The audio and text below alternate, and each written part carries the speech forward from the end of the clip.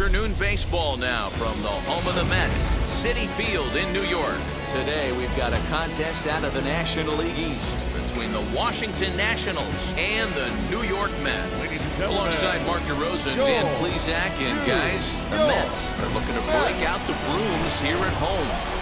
Yeah, and you don't want to get complacent. You steal the first three games and you're feeling like, man, we got this series already wrapped up. But you can't let the other team up off the mat right here. You have to stay focused, out on the mound, clean defense, everything it takes. You don't get many opportunities throughout the course of a season for three game sweeps, let alone a potential four game sweep.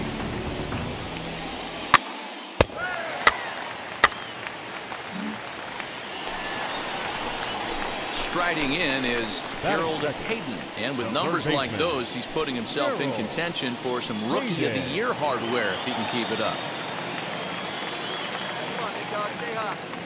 He comes set. Here's the nothing and nothing pitch.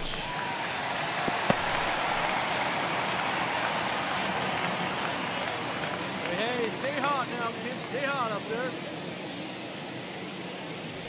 On, he looked like a caveman swinging the club on that one. It's 0-2 now. Stay hot, baby. Here we go.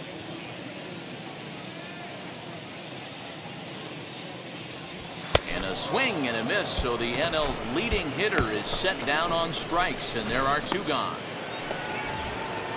So next to bat will be Luis Garcia. 0 for 1 for him here in this one. Hit on the ground to third. Throw cleanly into first, and that ends the inning. So no runs, no hits, no errors, and no one left. We'll move on to the bottom of inning number three, and we are tied nothing nothing. Here now is Juan Soto. Hit it hard, but lined out in his first at bat. Yeah, Matty, it's always a little frustrating when you square one up. You hit a solid line drive like he did, and all you have to show for it is a jog back to the dugout. That can get in your head for a little while. Only played at first, so the sacrifice works that time.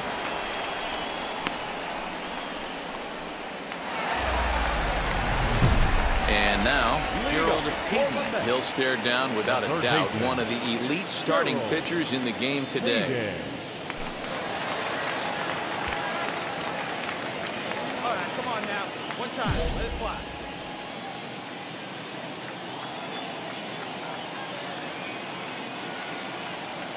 From the stretch. Swing and a miss, 0-1. Well, if you love pitching and defense, this has been a game for you. Are you happy with that, Dan? I think this continues for a while, Matt. Both of these pitchers are throwing very well, throwing strikes, having good command of their off-speed pitches. This is going to be one of those low-scoring affairs. The offense better get it going right here because they certainly can tell from their dugout this guy is carrying himself with a presence out on the mound. He's got feel for all his pitches. Hey, come on now. One time right here. The 0-2 once more. Back up the middle and in for a base hit. So it's a base knock to lead off their half of the fourth.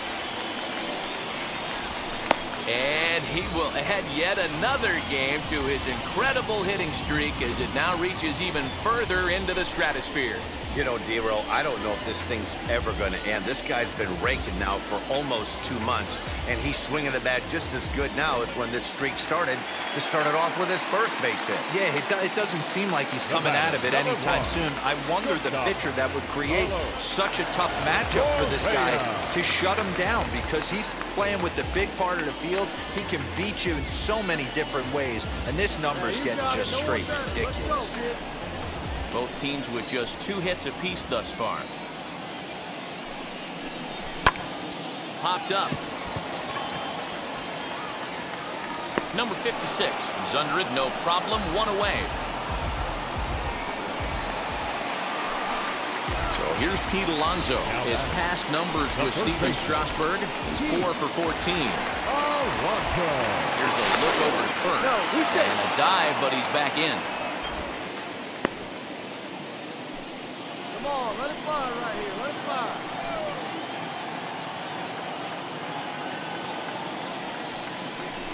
Now this is hit not all that hard out to second. The tag gets one on to first as they get the double play to get him out of the inning. fair to say? Oh, my goodness. Uh, these folks are not headed for a career on Broadway. We're back with more on a Sunday afternoon following this.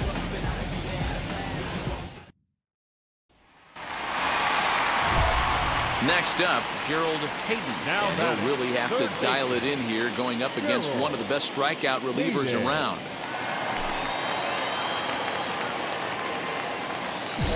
Hey, have a rip, like you can.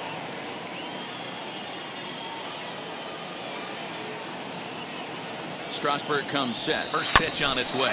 Ground ball sent back up the middle. And that finds its way through for a base hit. Hey, that was a well-executed pitch down and away. Sometimes you got to tip your hat to the offense. That's a nice piece of hitting. Maybe not what he was looking for, but the result was there.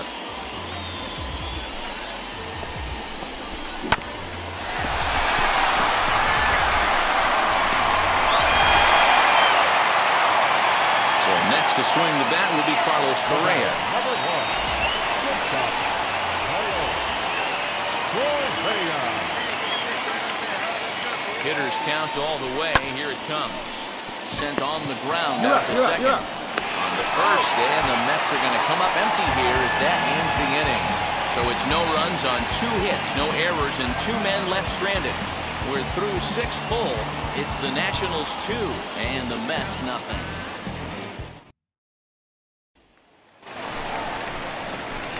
Stepping in once again is Gerald third baseman, He's looking for hit number three here in this at-bat. Hayden. Good touchdown. Let's go, baby.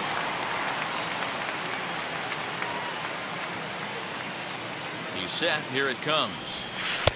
And he swings right over the top one. of this one. Nothing in one. Hey, let her rip, let her rip. The 0-1. And this is One ball, high, a ball strike. and a strike. Hey, if you're going to throw a pitch like that to this guy, that's right where you want to miss. Any lower, and he'll probably make you pay for it. And he just misses inside with the fastball there. This one, everything we could have hoped for. Three to two in inning number eight. Fouled off.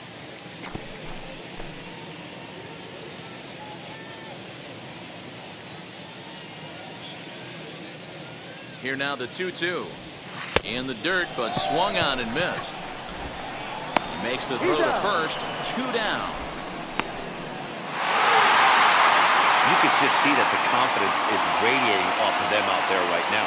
That's six wins in a row, and this looks like a train that's not about to slow down anytime soon. A one-run game this afternoon, three to two, the final finish. New York jumped ahead in the seventh inning and never gave the lead back. John Brebbia gets the win in relief, his sixth of the season.